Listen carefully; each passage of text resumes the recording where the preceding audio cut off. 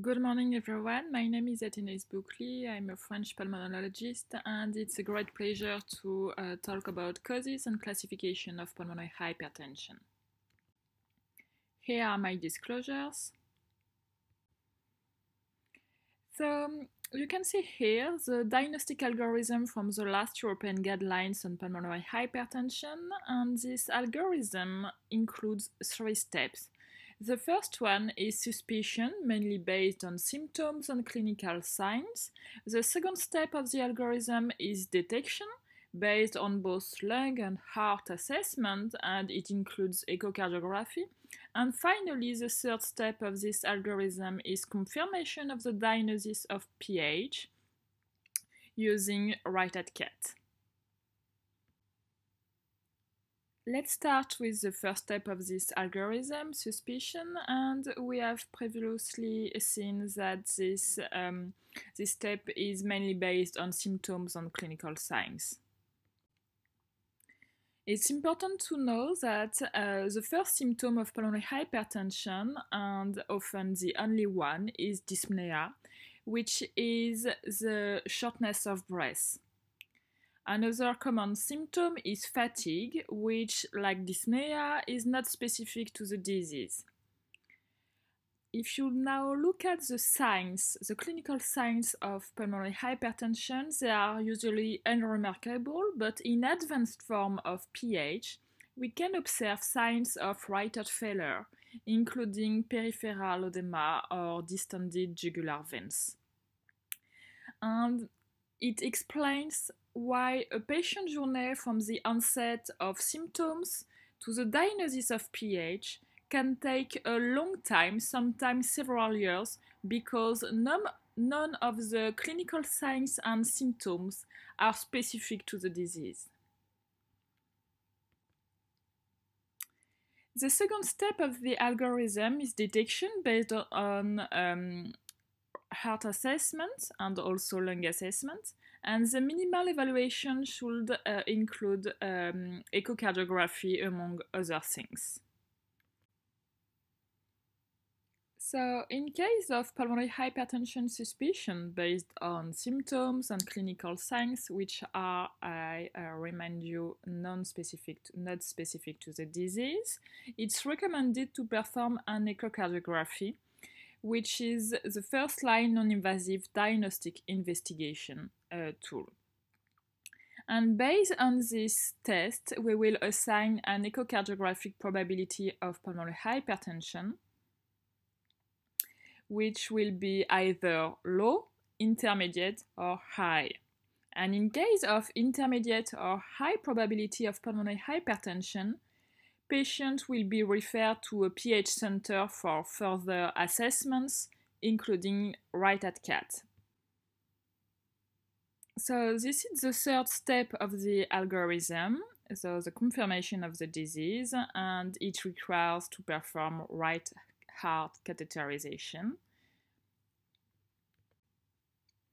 So, right heart cath is considered as the gold standard for diagnosing and classifying pulmonary hypertension.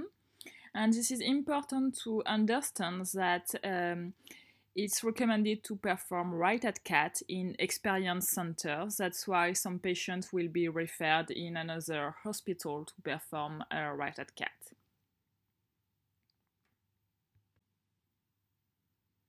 It is important to understand that not all pulmonary hypertension is the same. pH is a general term to uh, describe high blood pressure in pulmonary arteries from any cause. And patient will be classified into one of the five groups of pH according to this classification, this clinical classification of pulmonary hypertension.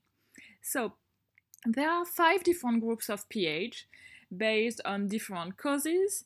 The classification reflects the whole clinical context, and in each group, patients share similar pathophysiological mechanisms, clinical presentation, hemodynamic characteristics, and also uh, therapeutic management. let's start with the first group, group 1, which refers to pulmonary arterial hypertension, also called PAH. So uh, it is caused by pulmonary vascular remodeling. The arteries um, in the lungs become uh, thickened and stiff.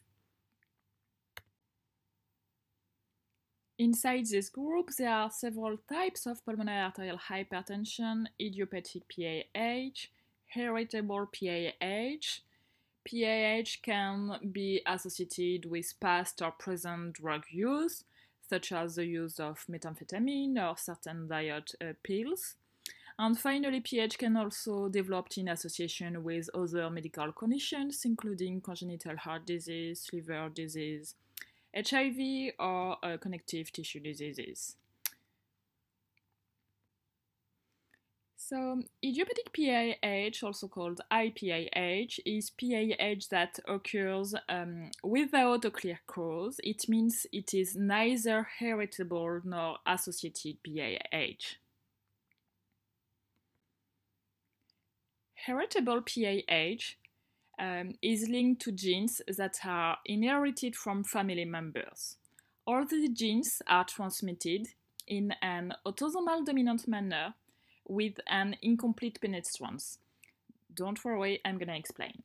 Dominant means that a single copy of the mutated gene from one parent is enough to cause the disorder.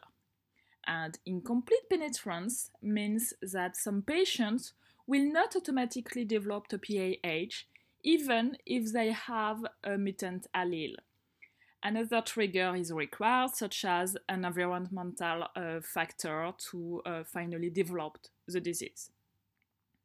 So you can see here a list of uh, genes that can be uh, involved in PAH, but there is also another gene uh, which is called EF2AK4, which um, induced uh, a specific form of PAH called PVOD for pulmonary veno-occlusive disease. So in this specific case, uh, the transmission is autosomal recessive, so it requires two copies of the mutated gene, one from each parent, to um, uh, finally induce the disease. So among the other genes in PAH, BMPR2 is uh, the um, most frequent gene inducing PAH, and in PVOD, EF2AK4 um, is the gene uh, of heritable uh, PVOD. PAH can be associated with exposure to certain drugs or toxins, particularly to appetite suppressant drugs such as Aminorex, uh, derivatives, or more recently Benfluorex. And these drugs have been confirmed to be risk factors for PAH, that's why they have been withdrawn uh, from the market. But PAH can be also a rare complication of dasatinib that was approved as a first line for chronic myelocytic leukemia, for example, and other drugs have been also um, found to be associated, possibly associated with PAH. PAH can also be a complication of other medical conditions, uh, such as congenital heart disease, liver disease, HIV, and uh, connective tissue diseases such as scleroderma or lupus. So it's important to understand that PAH can be a complication of other medical conditions. And finally, pulmonary veno-occlusive disease, also called PVOD, is due to both pulmonary artery and pulmonary venular uh, remodeling. And you can observe here on the slide typical signs of PVOD um, that you can see on CT. And you can see here mediastinal adenopathy, ground glass opacities, and septal lines, uh, which are quite typical to the uh, specific diagnostic of PVOD. So let's move to the second group of PH called uh, PH associated with left heart disease. In this group of PH, the arteries and lungs are not as thick or stiff as PAH, but there are problems with how the heart squeezes or relaxes, or problem with the valves uh, of the left side of the heart. And because of this, the left heart is unable to keep up with the blood returning from the lungs, causing a backup of blood which raises pulmonary veins pressure. And group 2 is the most common form of PH. Group 2 uh, is also called post-capillary pulmonary hypertension and the key tool to identify left heart disorders is echocardiography. Let's move to uh, the group 3 of PH, also called PH associated with lung disease. Group 3 pH includes pH due to hypoxia, uh, which is low oxygen levels, but it can also be due to uh, chronic lung diseases such as obstructive lung disease, where the lung airways narrow and make it harder to exhale. So this is the case in COPD, but also in emphysema. And among diseases inducing pH in group 3, we can also um, find um, restrictive lung diseases um, in which the lungs have a tough time expanding when one inhales. So, interstitial lung diseases uh, or pulmonary fibrosis are some examples of uh, restrictive lung diseases. Group 4 is called PH associated with chronic pulmonary artery obstruction, and inside this group there are CTEPH for chronic thromboembolic pulmonary hypertension. CTEPH can occur when the body is not able to dissolve a blood clot in uh, pulmonary arteries. This can lead to scar tissue in the blood vessels of the lungs, which block normal blood flow and make the right side of the heart um, rock harder. CTEPH um, diagnosis requires a VQ lung scan that you can see on this slide, but we will also perform a lung CT. And this type of pulmonary hypertension is unique because it can potentially be cured through um, a surgery called pulmonary thromboembectomy and this surgery is able to remove the blood clots as you can see here uh, on top of this slide. However, not all CTEPH patients are eligible for this surgery and patients not eligible for surgery can be treated with angioplasty and or uh, drugs. And finally, group 5 is where uh, pH is secondary to other diseases in ways that are uh, not well understood. Inside this group, you can uh, find some hematological disorders, systemic disorders, metabolic disorders, uh, chronic renal failure, but also uh, fibrosing mediastinitis or pulmonary tumor thrombotic microangiopathy. And a frequent cause in group 5 PH is sarcoidosis associated pulmonary hypertension. And the specific cause of PH is classified in group 5 because there are several mechanisms inducing PH.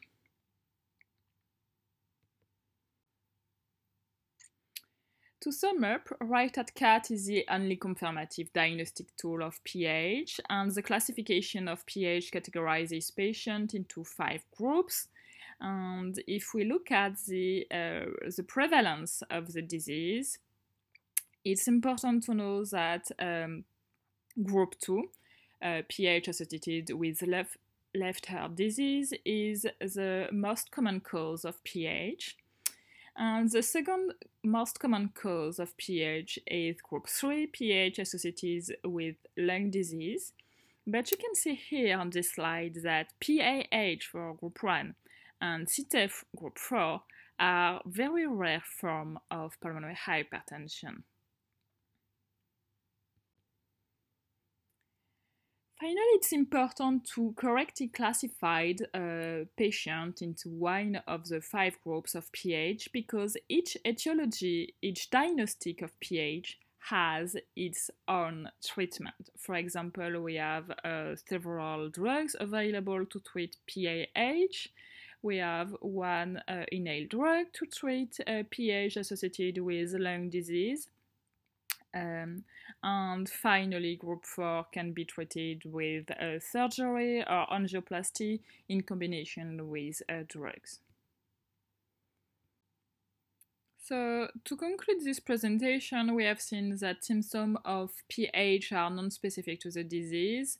Uh, we can have a shortness of breath in other uh, lung diseases or cardiac diseases. Right heart cath is, is the only confirmative diagnostic tool and finally, at the end of the diagnostic workup, we have to classify uh, patients in one of the uh, five groups of PH, and this is very important as the treatment approach is depending of the classification of PH. Thank you for your attention.